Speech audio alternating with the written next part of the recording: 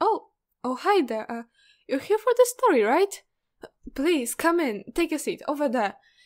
Don't worry, I have something for you. I, I didn't expect anyone to come, actually, but... But don't worry, I have a story. I really hope you like it. I worked pretty hard on it, actually, so...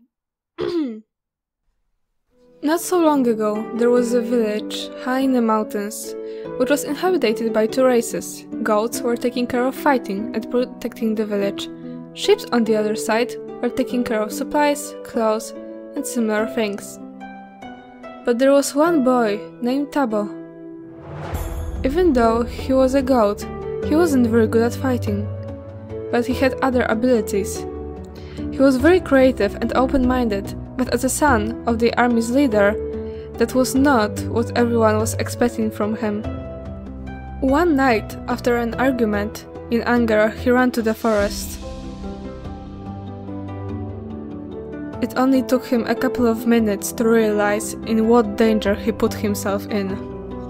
He was trying to defend himself, but it was looking good for him. Suddenly, someone jumped over him and in seconds got rid of the enemies. When they finally stopped fighting, he noticed the white curly hair. They were a sheep. She grabbed quickly his wrist and started running. They ended up in some kind of shelter, but it wasn't looking abandoned. When they were finally able to sit down, she introduced herself. Her name was Melanie. After a small talk, she said that even though she was a sheep, she was always very good at fighting. They were similar. They stayed for the night in the shelter, laughing, talking, getting to know each other better and better. They passed, then weeks and months. They became best friends.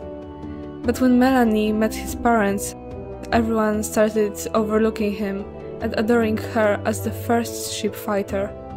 She started giving more time to fighting sessions.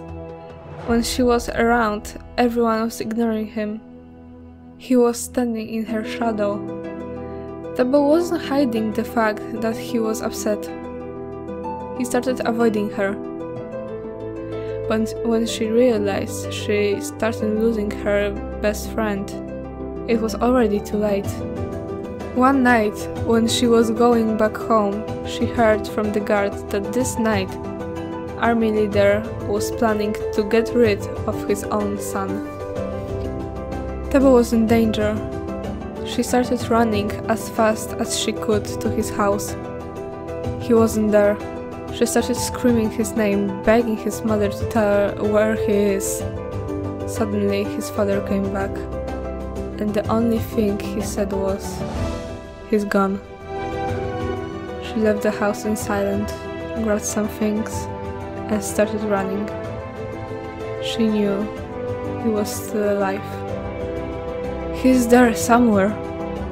She had one goal find her best friend and apologize for what she has done. Well, that would be the story. I hope you enjoyed it and I hope I'll see you again one day.